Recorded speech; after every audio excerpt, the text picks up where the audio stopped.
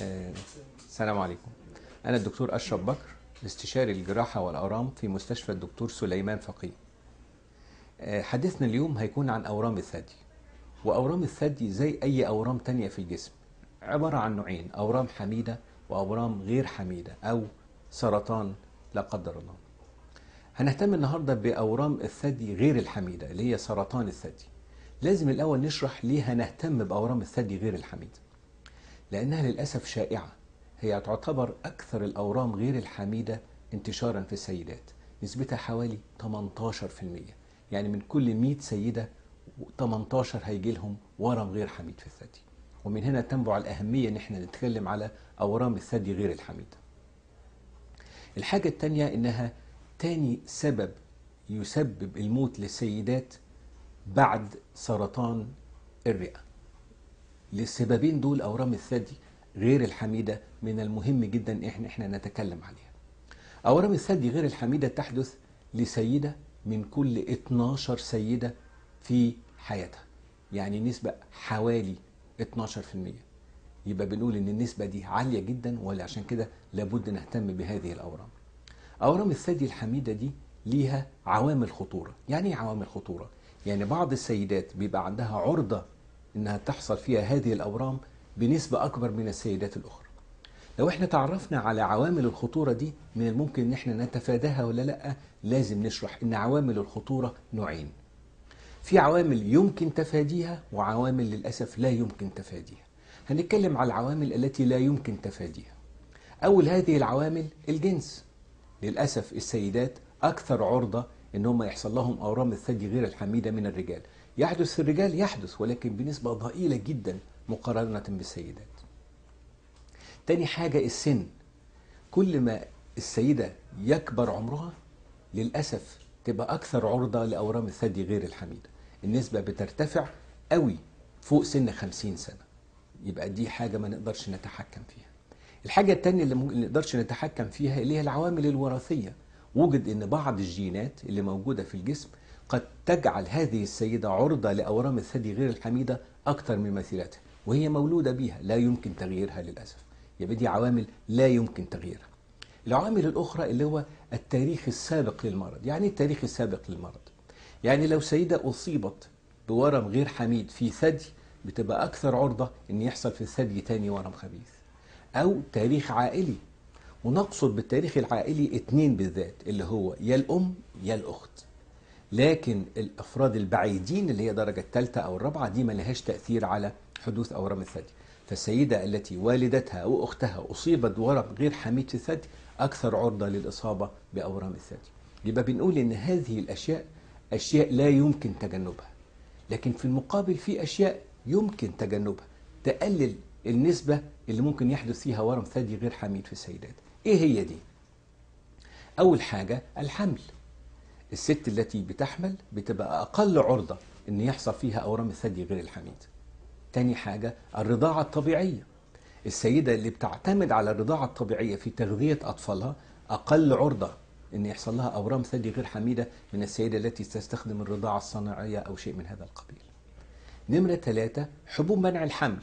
حبوب منع الحمل بتزود بنسبة ضئيلة جدا نسبة الإصابة بأورام الثدي الحميدة لكن من المطمئن إن هي لو بطلت حبوب منع الحمل بعد فترة تعود إلى النسبة العادية زي أي إنسان آخر. الحاجة الثانية اللي هي علاج الهرمونات. بعض السيدات بعد سن الطمث بتستخدم بعض الهرمونات لتعديل الأعراض اللي بتشعر بها استخدام هذه الهرمونات يجب أن يكون بحذر وتحت إشراف طبي لأن استخدامها بطريقة غير سليمة قد يزيد النسبة من الإصابة بأورام الثدي غير الحميدة السمنة للأسف السيدات اللي وزنهم زيادة عن الطبيعي أكثر عرضة إن هم ممكن يحصل لهم أورام الثدي غير الحميدة يبقى الست اللي هي عندها سمنة ننصحها تخفض وزنها. الست اللي هي مش متزوجة ننصحها تتزوج وتحمل. الست اللي هي لا تفضل الرضاعة الطبيعية نقول لها لو سمحتي رضعي طفلك بصورة طبيعية لأن ده يقلل نسبة الإصابة من أورام الثدي. حاجة مهمة كمان الرياضة. الرياضة وجد أن ممارسة الرياضة بصفة روتينية تقلل من نسبة الإصابة بأورام الثدي غير الحميدة يبقى في عوامل لا يمكن تغييرها وفي عوامل نستطيع إن إحنا نتحكم فيها ولو بدرجة فإحنا نحاول إن إحنا نركز على عوامل الخطورة التي يمكن التحكم فيها عشان نقلل نسبة الإصابة بأورام الثدي. طيب هنيجي للموضوع الثاني اللي هو المهم. إحنا حاولنا نقلل نسبة الخطورة ورغم ذلك للأسف السيدة برضه ممكن يحصل لها أورام الثدي غير الحميده. إيه اللي نقدر نعمله غير تعديل وسائل الخطورة؟ إحنا نقدر إن إحنا نكتشف الورم مبكر. الورم أول ما بيحصل بيحصل في الثدي وبعد كده للأسف ممكن ينتشر عن طريق الأوعية الليمفاوية أو عن طريق الأوعية الدموية. ممكن يروح للغدد الليمفاوية اللي في الأبط أو يروح للكبد أو يروح للرئة أو يروح للعظم وساعتها علاجه هيبقى أصعب ونتيجته أسوأ. يبقى الحاجة اللي ممكن نعملها إيه؟ اللي هو الاكتشاف المبكر للمرض. طب إزاي أعمل اكتشاف مبكر للمرض؟ عندنا طريقتين رئيستين أول طريقة اللي هو الفحص الذاتي للثدي.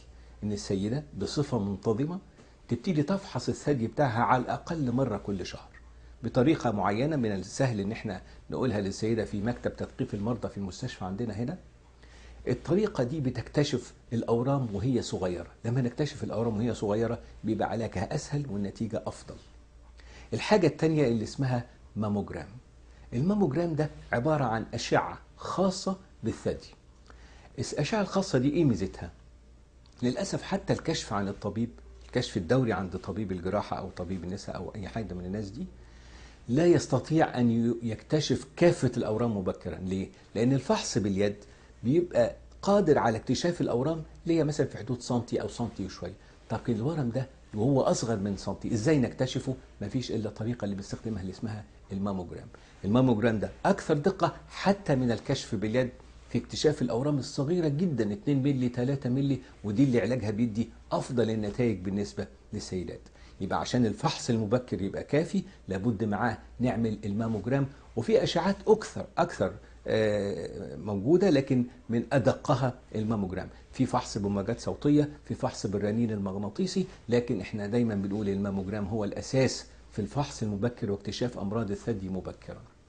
ال- الجمعية الأمريكية لأمراض السرطان بتنصح إن السيدات فوق 40 سنة لازم يعملوا فحص سنوي على الأقل للماموجرام عشان يكتشفوا إذا كان في أورام ولا لأ. وطبعا هذه النسبة بتبقى أكثر أهمية في السيدات اللي عندها تاريخ يدعم آه، آه، وسائل الخطورة اللي إحنا اتكلمنا عليها. بنقول بقى لو إحنا اكتشفنا هذا الورم إيه اللي ممكن نعمله؟ بنقول إن اكتشاف أورام الثدي مبكرا يتيح للسيدة إنها تستمتع بميزات الجراحة الحديثة. كنا زمان لما نكتشف ورم بنضطر للأسف إن إحنا نستأصل كافة الثدي والغدد الليمفاويه الموجودة في الابط لكن العلم بيتقدم والاكتشاف المبكر بيخلينا نكتشف الأورام وهي أصغر حجما. لما نكتشف الأورام وهي أصغر حجما بنقدر نعمل استئصال جزئي للثدي يعني إيه استئصال جزئي؟ يعني بنشيل الورم وجزء من الثدي حواليه زي مساحة أمان ونترك بقية الثدي طبعا ده أفضل كثيرا للإيه؟ للسيدة بدل ما تفقد الثدي كله. وفي المقابل حصل تطور خلاق في استخدام العلاج الكيماوي والعلاج الإشعاعي وعشان كده ممكن بعد هذا الاستئصال الجزئي للورم إن إحنا ندي المريضة علاج كيماوي أو علاج إشعاعي أو علاج هرموني ويدي نفس النتيجة اللي كان بيديها الاستئصال الجذري للثدي اللي كنا بنعمله من سنوات عديدة. رسالتي في هذه ال- ال- القصة إيه؟ أول شيء حاول تقلل وسائل الخطورة اللي إحنا اتكلمنا عليها نمرة اتنين اعمل فحص مبكر للثدي يا إما فحص ذاتي يا إما عند طبيب الجراحة أو طبيب الأسرة واعمل ماموجرام لو كان سنك أكتر من 40 سنة. ولو في حاجة ما تحاولش تتجاهلها اذهب للطبيب بأسرع وقت. العلاج المبكر نتيجة أفضل وشكل أفضل. وبالسلامة إن شاء الله.